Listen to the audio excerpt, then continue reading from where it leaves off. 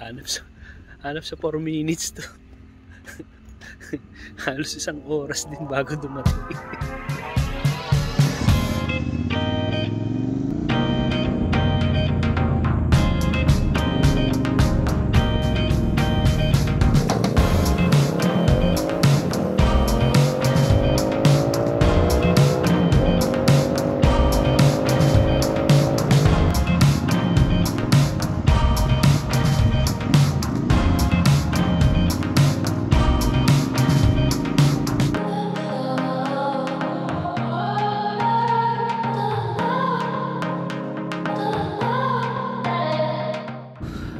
ayun no matindi tong naisipan nating night ride. Bigla na pasubo tayo sa Alcudra dahil uh, nabigyan tayo ng invitasyon ni paring Elvin na bubisita sa Alcudra para magkape. Matindi. Uh, medyo matagal na ako hindi nakakarating ng Alcudra although wala talaga sa plano na pupunta ako ng Alcudra dahil alam ko for a fact na napakalamig dun. Kasi nga open air dun eh. Pag nagra-ride ka sa city medyo tama lang yung temperature sa gabi lalo na ngayong mga panahon na mga panahon na to. Dahil hindi naman gaano kalamigan katulad nung last uh, month mga following months no? Malapit na mag summer may tinetesting kasi ko tinetesting ko yung chest mount ng GoPro tinesting ko ulit yung sound ng GoPro. Hindi talaga ako magkaroon uh, ng tagumpay doon sa sound. Ayan, napansin nyo, suot ko yung chest mount. Makikita nyo mamaya, papakita ko sa inyo mamaya yung shot kung anong itsura ng chest mount na yan. Uh, matagal na sa akin yan, so ngayon ko lang nagamit. Kailangan talaga tetestingin nyo yung mga gamit bago tumrabaho. Yan. Sa madaling salita, mas maganda kung naka-chin mount siya. At yung last na kuha ko, hindi din pumalpak din kasi naka-linear. Linear meaning to say, masikip yung kanyang view. Dapat naka super wide or naka wide para kita yung manibela, kita yung odometer, kita parang immersive yung dating na kasama ko kayo na nagda-drive or kayo mismo yung nagda-drive. Ayoko maging masyadong technical dito pare. Kasi nga gusto natin medyo magaan lang. Although kasi kaya lang naman kasi talaga ako nag-ride is para i-testing yung mga gamit. Hindi ko lang maintindihan kung bakit garalgal na naman yung boses ko doon sa GoPro na kuha. Talaga naman. Eto, dyan, sa kalyeng yan which is 100 uh, na yung speed limit may mga mangilan-ngilan na camera dyan na patalikod. Yung iba hindi gumagana eh. Although syempre ayoko naman sumampa doon sa mas mabilis na speed limit dahil alam mo na safety syempre 'di ba? Kaya ka nga nag classic bike eh ang kagandahan kasi ng classic bike is ayoko talaga ng mabilisang kagaya ng mga sports bike dahil nakakatakot naman talaga yung sports bike. Although nakaka-addict nga naman talaga, naiintindihan ko yung passion ng mga naka-sports bike sa bilis sa tulin. Naiintindihan ko yung kasi ang sarap nga naman magpatakbo ng matulin dahil yung adrenaline rush talagang wow naman eh, sa akin kasi is, medyo stoic na tayo ngayon. Stoic meaning to say, ni-enjoy ko yung, ninanamnam ko yung bawat saglit. Yan.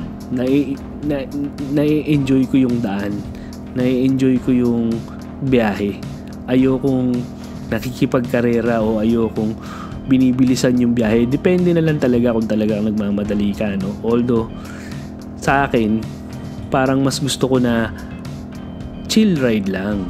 Chill ride lang para ma-enjoy mo yung daan. Kasi ang ganda ng ginawang daan ng gobyerno ng UAE sa mga kalye nila na pwede yung pangkarera talaga. Pwede talagang pangkarera.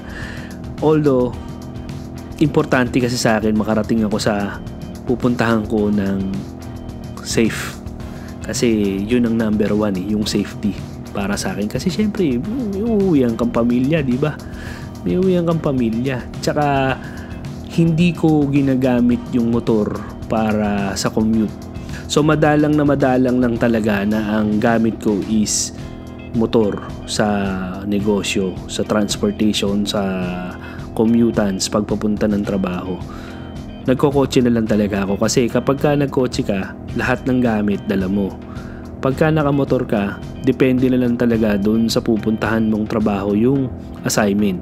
Kasi syempre bilang lang yung yung mga gamit na pwede mong dalhin, di ba? Andyan siguro maximum na yung isang tripod tapos dalawang lente, isang body. Pero usually kasi dalawang body, tatlong lente, tripod, dalawang studio lights, dalawang stand, softbox, hindi na kasya yun sa sa motor. So talagang isasakay mo na yan sa kotse, no. Lalo na ang paborito kong ginagawa is portraits yan, mga corporate portraits. Kapag kayo eh, may kilalang nangangailangan ng portraits, tawagan nyo lang ako. Ganun yun. ano yan ang tawag doon? Shameless plug-in. Yan. So, eto ngayon, binabaybay natin yung kalye ng Kudra. No? Diretso siyang mahaba. 20 kilometers na haba. So, ibig sabihin, o give and take 50, 45 to 50 kilometers ang layo ng Alcudra mula sa amin. No? Sakto lang talaga pang night ride. Uh, eto ngayon, no, pumapaling na yung aking camera dahil pinwesto ko yan eh. Dahil, speaking of which, yung mga sports bike talaga naman matindi. Pung, pung. ang takbo ko siguro dito mga 110 ano pero imagine mo kung nung takbo nung, dal- nung tatlong kolokoy na yun, grabe sa sobrang bilis.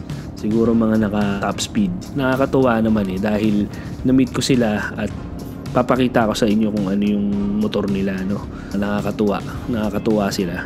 Hindi naman ako nagalit sa kanila kasi hindi naman ako nainis. Kasi nature yan ng motor nila no. Nature yan ng motor nila. Enjoy nila yung motor nila. Basta safe sila basta maayos hindi sila makagambala o hindi sila makaaksidente o hindi sila makakos ng accident or hindi din sila mapahamak. Yun tama yun. Kasi syempre kanya-kanyang trip yan. Kanya-kanyang trip talaga yan. Hindi mo talaga masisisi o hindi mo talaga maaatim na ang tawag dito magalit sa kanila kasi nature yan ng mga motor nila, ng makina nila. Talagang pagka galing ka ng trabaho at gusto mo makakawala o galing ka sa bahay nyo at gusto mo makakawala pagka binomba mo na yan talagang sobrang sarap. Although again ako hindi ako masyado nagmamadali. Okay lang ako. Takbong pogi takbong classic takbong copy racer ayoko nang may hinahabol. Depende na lang talaga kung nangangailangan. Yon. Sige, fast forward natin to at tingnan natin yung entrance ng Alcudra.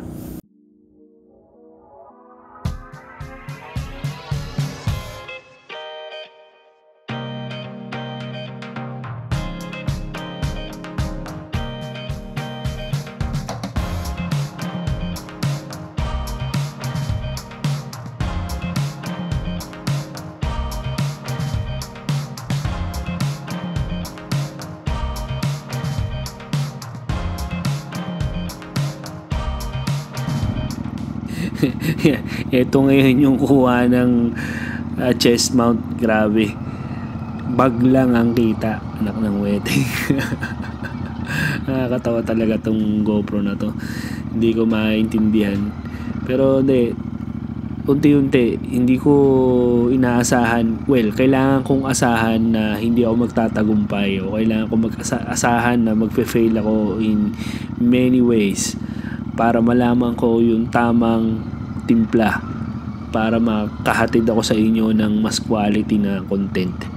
Anyways, eto na ang mga tropa. Sorry. 200? No, only 110.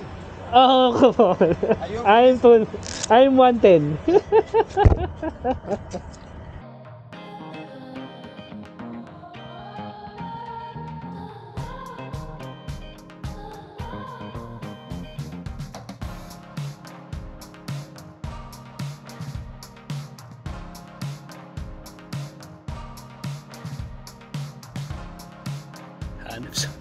hanap sa 4 minutes to.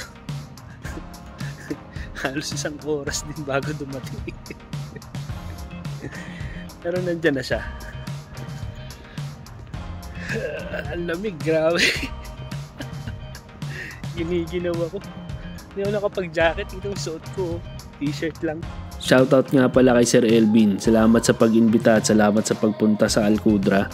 Alam ko naman na matagal tayong hindi nakapagsulo at ah, sinarili ko na lang yung ating kwentuhan. Ah, na-enjoy natin yung kape at uh, kwenting kwentuhan tungkol sa negosyo at tungkol sa pagkakapirahan. Number one talaga pag si Sir Elvin ang kausap mo, talagang may mapupulot ka. Ayun. Meeting adjourn. Panalo talaga to. oh. R90. Hmm, yung driver niya no. Poging pogi. Helmet pa lang eh. Swak na swak eh. ako'y ginaw na ginaw. Buti na lang si Sir Elvin eh, naka leather jacket. Matindi talaga pumorma tong isang to. Anyway, maraming maraming salamat mga bossing. Maraming maraming salamat sa pagpanood kung nakaabot man kayo rito hanggang dulo. Napakasarap sa Alcudra, napakasarap bumiyahe dyan. Ah, diretso lang. Press like and subscribe. At ah, press nyo na rin yung notification para ma-notify ko kayo kapag ka meron tayong bagong video. Maraming salamat po para sa mga nakaabot dito sa bandang dulo. Kapag ka kayo ay gustong malamigan, pagpunta sa Alcudra, pwede ko kayong samahan. Isang tawag lang. Imbitahan nyo ako. Bili ko kayo ng kape. Maraming salamat po. Uh, God bless and keep riding and keep safe.